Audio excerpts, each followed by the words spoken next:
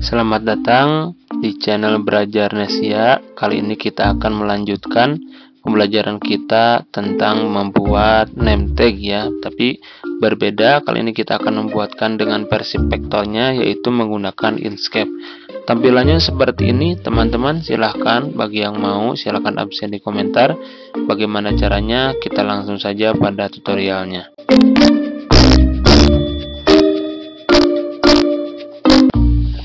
Oke, langkah pertama, teman-teman silahkan buat dulu page seperti ini. Kita masuk dokumen properties ya, file dokumen properties. Silahkan nanti di printnya boleh dalam mode landscape atau mode portrait. Di sini admin biasa menggunakan portrait dengan satuan cm. Dengan di sini sudah ada ya kertasnya kertas A4 lalu di setting ada snapnya juga untuk snap sendiri bisa di drag di sebelah kiri. Nanti teman-teman dikosongkan saja supaya nanti e, tidak terlalu otomatis ya menurut admin juga mengganggu. Oke. Kalau sudah teman-teman di sini bisa dilihat apa yang saya ketik atau yang saya lakukan.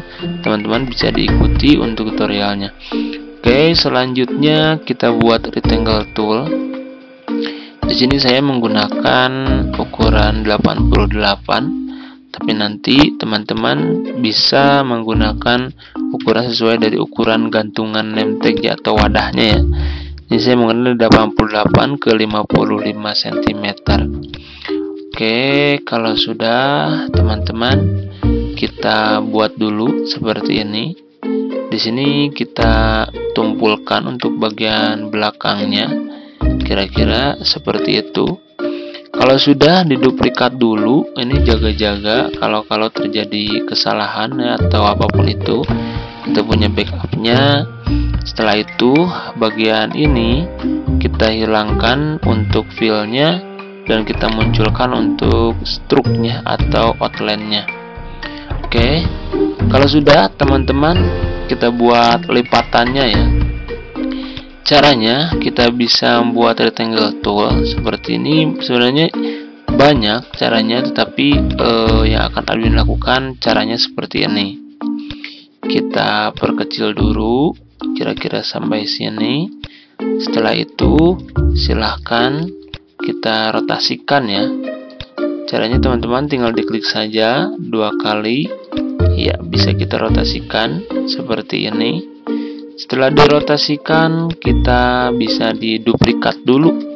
Setelah itu menggunakan Ctrl D ya, lalu di flip ya, seperti itu.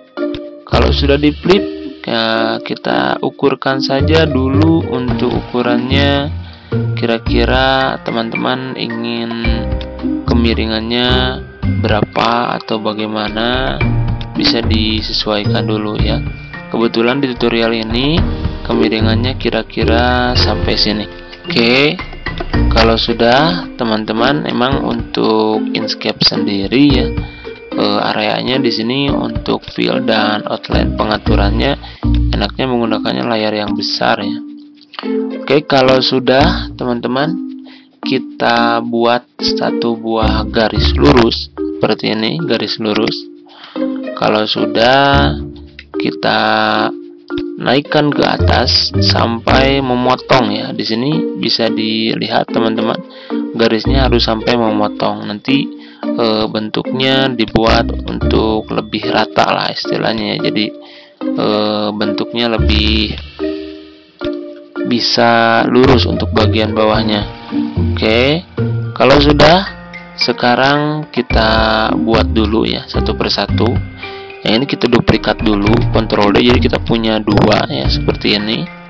Kalau sudah teman-teman pilih yang ini lalu pilih pet ada division ya oke. Okay. oh sorry ketinggalan. Pilih lalu pilih pet dan division otomatis ini jadi terpotong untuk bagian bawahnya. Lakukan hal yang sama juga untuk uh, yang sebelah kiri ya. Kita pilih pad lalu dipilihnya dengan keduanya ya garis untuk memotong yang tadi. Pilih pad lalu division. Oke, kita sudah punya dua buah garis ya di sini. Supaya kelihatan kita beri saja dulu warna abu-abu. Sebelum nanti diberikan warna gradasinya. Oke seperti ini. Kira-kira tentu dengan perataan bawah ya bisa ditekan B ya seperti itu oke. Kalau sudah teman-teman bisa dihilangkan untuk outline-nya. Iya seperti itu. Dan untuk bagian bawahnya di sini kita isikan saja warna hitam. Dan untuk outline-nya kita bisa hilangkan saja. Oke, sekarang tinggal kita masukkan membuat gradasi ya. Untuk gradasinya admin sudah siapkan lengkap dengan ikonnya di sini ya. Ini untuk ikon dan gradasi sengaja disiapkan untuk supaya mempermudah juga ya, karena kita tidak bertele-tele ya. Oke, kita pastikan saja. Oke ini adalah e, palet warnanya ya warna biru hijau dan hijau tua teman-teman sebenarnya bisa juga membuat ini tanpa palet jadi bisa menggunakan explore sendiri. Berhubung di sini adalah tutorial jadi kita jangan membuang-buang waktu ya. Kita bisa menggunakan objek lalu ada fill and stroke ya di sini atau outline-nya dan kita bisa pilih gradasi ya seperti itu. Nanti dipilih tool gradasi di sebelah kiri ya di sini kita pilih saja seperti ini.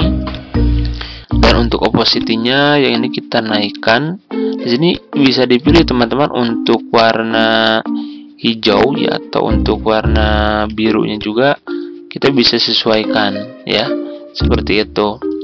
E, untuk gradasi yang lainnya juga yang ini teman-teman juga bisa sesuaikan kalau ingin merubah warna kita bisa masuk di mode HSL ya mode hue nya ya. Oke iya seperti ini. Nah kan e, bisa dieksplor sendiri tapi supaya lebih cepat ya. Ini admin menggunakan paletnya. Oke caranya seperti yang tadi ya. Kita gunakan dulu gradasi yang dipilih. Yang ini gunakan eyedropper lalu pilih di bagian atas Oke kita coba lagi. Yang ini dipilih. Pilih airdropper pilih warna hijau. Selanjutnya yang ini juga sama. Airdropper kembali lalu pilih warna hijau. Oke kalau sudah teman-teman kita buat yang ini ya yang sebelahnya lagi. Warnanya warna biru saja menggunakan gradasi ya seperti ini Eh, teman-teman bisa dipilih saja langsung atau dipilih salah satu ya seperti ini.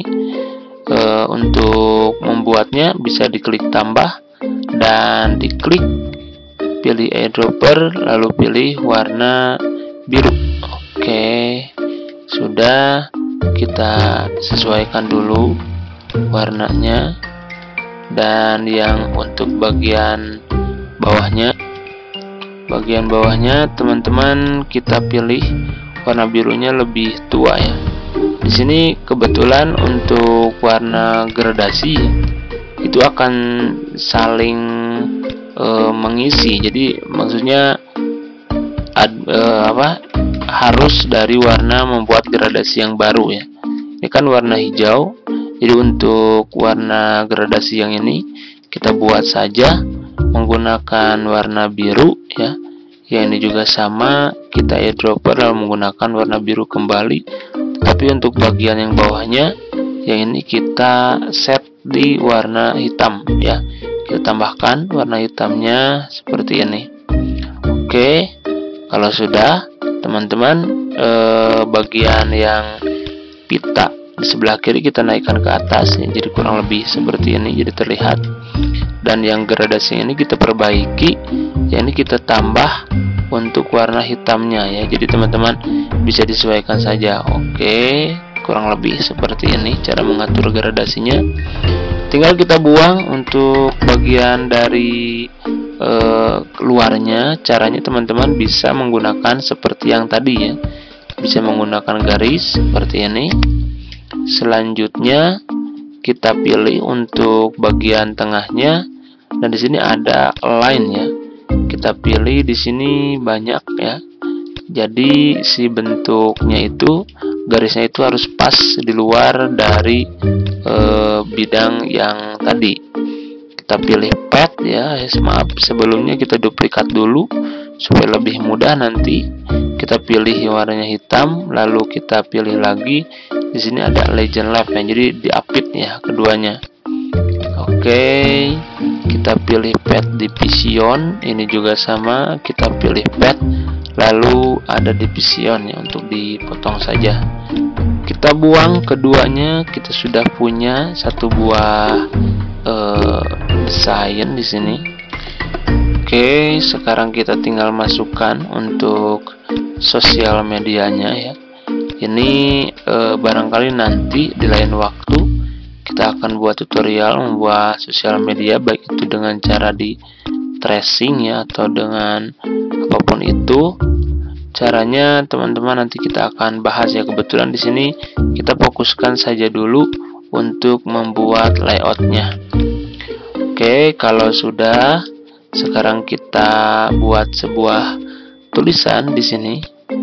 Uh, admin di sini admin sudah siapkan untuk tulisannya di catatan kecil saja. Dalam bentuk notepad ya. Kita klik eh, nanti teman-teman untuk pembuatannya bisa dilakukan secara manual. Tapi di sini supaya lebih cepat juga ya. Jadi eh, admin digunakannya langsung di kopas saja. Oke kita hapus dulu kalau sudah sekarang kita tuliskan yang tadi ya namanya. Ya seperti ini kita kasih warna putih lalu kita drag ya. Tinggal dirapikan saja teman-teman. Di sini merapikannya bisa menggunakan enter atau kita juga bisa diubah ya untuk tulisannya menjadi per baris caranya bisa menggunakan control key ya. Jadi control key itu menjadi per baris ya atau dirubah menjadi uh, pad ya supaya lebih mudah. Oke seperti ini. Kurang lebih iya kita drag dulu. Untuk bagian-bagian tulisannya kita pindahkan ke bawah. Yang ini ke Twitter yang ini ke channel ya dan yang ini ke Facebook. Oke kalau sudah teman-teman kita ratakan dulu ya. Kalau sudah rata sekarang e, di blok per sosial medianya kita blok dulu. Nanti kita dirapihkan ya. Caranya yang ini bisa digeser dulu salah satu dan kita blok kembali kita gunakan allegiance di sini ya align atau allegiance ya tulisnya. Kita perkecil. Oke kalau sudah tinggal tulisannya untuk konten kreator. Kita ganti menjadi preserif ya. Saya menggunakan preserif dengan format bold. Dan kita perbesar misalkan eh, 14 untuk konten kreatornya kita gunakan sans serif bold jadi seperti itu. Kita turunkan menjadi 9 misalkan. Kalau sudah teman-teman di sini masih ada spasi ya. Caranya ini bisa diblok dulu dan kita bisa lihat di sini settingannya ya. Untuk settingan spasi antara tulisan kita bisa diatur. Kalau sudah kita kontrol A kita beli kita beri maksud saya untuk stylenya di uh, rata tengah ya. Dan di bawah kita buat lagi yang ini kita duplikat dulu ya teman-teman. Kita buat di bawah dengan kemiringan yang sama. Menggunakan ini caranya kita pilih dulu yang ini kita duplikat ya jadi otomatis ada di atas yang ini kita naikkan ke atas dengan menggunakan control home. Setelah itu pilih keduanya dan pilih intersection ya jadi intersection itu fungsinya untuk membuat objek yang bersangkutan objek yang ketiga. Kita pilih lagi. Untuk filenya kita pilih gradasi silahkan boleh dipilih salah satu sekarang kita akan membuat sebuah fil putih ya. Caranya ya ini diduplikat dulu ya. Jadi kita punya dua. Setelah itu kita gabungkan menggunakan pot union. Ya ini jadi bergabung. Tapi yang sudah diduplikat tadi kita beri warna putih geser ke bawah dan turunkan dengan control pack down ya. Oke. Ini satu sudah beres. Tinggal yang ini kita duplikat dulu beri warna putih seperti yang tadi ya. Oke warna putih. Lalu kita control pack down dan kita tarik di bagian sudut sebelah kiri. Oke ini sudah ada. Sekarang tinggal kita memasukkan untuk frame fotonya. E, kita gunakan lingkaran saja ya. Seperti ini lingkaran terus kita pilih warnanya yaitu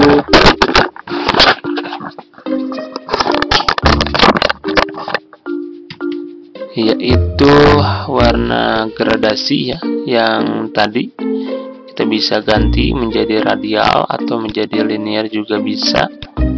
Setelah itu teman-teman kita duplikat dulu ya caranya di Ctrl D saja kita perbesar untuk filenya kita hilangkan untuk struknya kita pilih solid atau pilih gradasi juga boleh dan pilih yang tadi berarti ya. Yang ini kita kurangi struknya oke. Okay kira-kira seperti ini. Iya. Ini untuk fotonya kecil saja. Eh, dirasa kurang space kita turunkan ke bawah sedikit. Perbesar lagi. Iya tinggal dimasukkan untuk fotonya ya. Eh, di sini admin menggunakan foto dari avatar vector ya. Jadi yang sudah jadi sudah disetting sebelumnya. E, nanti di lain kali kita akan bahas cara membuat avatar. Baik itu di tracing menggunakan gambar-gambar yang sudah tersedia tentunya harus gambar yang gratis benar-benar diperbolehkan. Nah sekarang supaya gambar ini masuk atau foto nanti foto anda masuk teman-teman ini bisa diduplikat dulu ya seperti ini. Kalau sudah diduplikat nanti e, silahkan masukkan fotonya. Kita hilangkan dulu untuk filenya ya. E, belum kelihatan kita pilih. Outline-nya warna merah lah supaya kelihatan iya seperti ini. Kalau sudah pilih keduanya. Klik kanan lalu set clip ya oke. Tinggal pilih lagi. Ctrl eh, tekan C tekan B. Ya maksudnya tekan B. Kita perkecil. Oke. Iya kira-kira seperti ini. Ya ini udah jadi untuk bagian nama dan selanjutnya kita akan membuat eh, bagian belakangnya ya. Bagian belakangnya di sini kita gunakan bagian bawah ya di sini. Duplikat dulu ya. Oke. Ini hampir sama ya seperti yang tadi tinggal diduplikat saja. Kita perbesar dulu teman-teman. Ini untuk kemiringan yang tadi ya. Ini caranya hampir sama membuat bentuk yang tadi. Kita pilih dulu struknya out filenya kita hilangkan ya struknya kita kita perkecil saja. Oke kira-kira segini. Ini juga sama. Kita duplikat dulu kita naikkan ke atas ya. Kebetulan di sini untuk e, kemiringannya harus sama supaya lebih simetris juga ya kita pilih dulu ya. Oke. Kalau sudah sekarang eh, teman-teman bisa dipilih yang ini yang warna hitam. Kita duplikat dulu jadi ada di atas ya. Dan yang ini yang hitam segitiga ya. Kita ganti dulu menjadi warna merah. Nah kita akan membuat bagian yang ini. Jadi yang merah dengan yang tadi hitam duplikat seperti ini kita pilih path lalu kita pilih di uh, intersection maksud saya.